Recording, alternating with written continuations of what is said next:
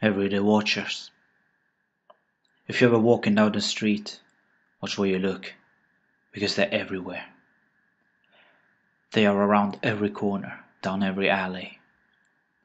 They're normal people, just like you and I. Until you see them, that is.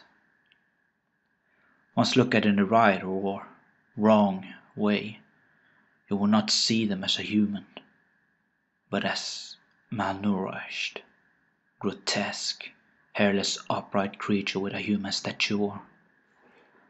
Despite their tight skin and lack of proper mouth, they have thick bones that almost protrude out of their skin. The most human thing about them is their eyes. Beautifully terrifying eyes that looks just like a person's. They are known as watchers, and if you see one, they will find you. Once seen in the correct way, they will pursue. They may not be fast, but they always know exactly where you are. They never tire out. They never they and they cannot be killed.